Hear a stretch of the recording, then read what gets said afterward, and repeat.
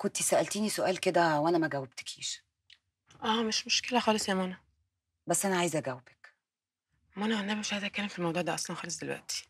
لا لازم تسمعيني يا مروة.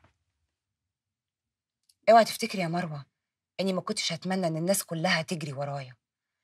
وإني ما بقاش مهتمية بنفسي وحلوة زيك كده.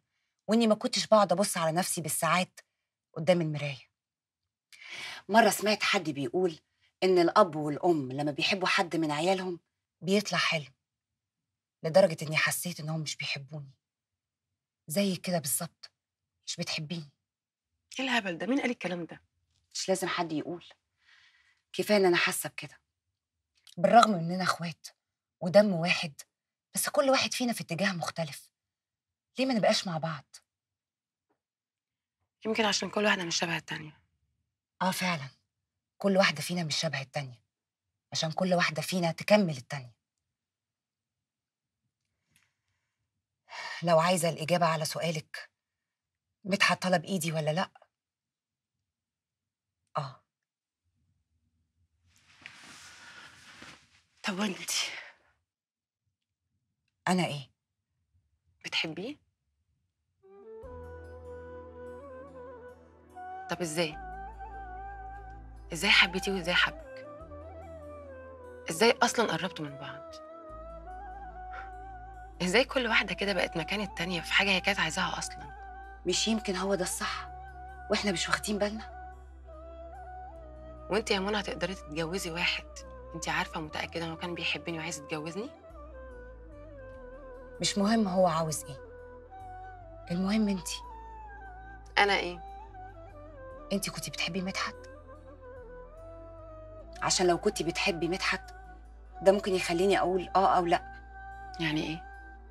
يعني لو فعلا كنتي بتحبي مدحت وكنتي عايزة تتجوزيه ده هيخليني أشيل الموضوع خالص من دماغي. انت متأكدة من الكلام اللي انت بتقوليه ده يا منى؟ طبعا متأكدة وعارفة كويس قوي أنا بقول إيه. ماشي يا منى. عايزة أنا أقولك كل حاجة بصراحة يعني؟ طبعا. أنا مدحت ده عمري ما حبيته ولا عمري تخيلت نفسي معاه ولا كنت عايزة أتجوزه أصلا. مدحت بالنسبة لي كان سلمة هوصل بيها لطموحي أوصل لمكانة اجتماعية كويسة ترضيني أكون مبسوطة مش محتاجة لحد. فلوس ومنصب مش أكتر.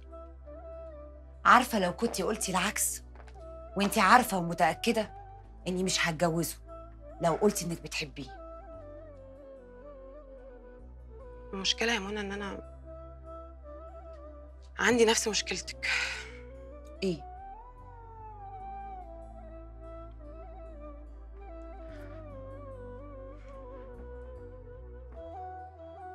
أنا لقيت نفسي بحب أحمد. يعني إيه؟ عارفة لما تعيشي عمرك كله عمالة تلفي وتدوري حوالين حاجة واحدة بس طموحك وأحلامك ومشاريعك. في حاجة جواك انت دايما مخبياها. مش عايزة تفكري فيها عشان ما تعطلكيش؟ آه طبعا فاهمة. هو ده اللي أنا كنت عايشة فيه. مش عايزة أفكر في الحب عشان ما يعطلنيش. بس أنا كان من جوايا نفسي أحب وأتحب وأتبسط. بس عقلي كان دايما رافض. عرفتي منين إنك بتحبي أحمد؟ لما وجيه قال إن هو عايز يتجوزني وإن لازم أسأل أحمد خفت أحمد يقول لي اتجوزي وجيه ساعتها كنت أعرف إن هو ما بيحبنيش. بجد كان ممكن وقتها أموت.